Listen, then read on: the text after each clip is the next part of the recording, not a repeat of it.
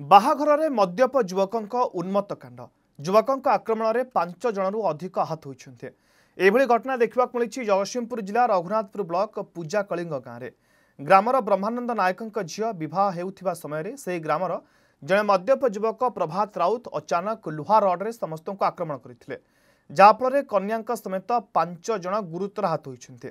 ଘଟଣାସ୍ଥଳରେ ରଘୁନାଥପୁର ଥାନା ପୋଲିସ ପହଞ୍ଚି ଯୁବକଙ୍କୁ କାବୁ କରିବା ସହିତ ଆହତମାନଙ୍କୁ ଜଗତସିଂହପୁର ମୁଖ୍ୟ ଚିକିତ୍ସାଳୟରେ ଭର୍ତ୍ତି କରିଛି।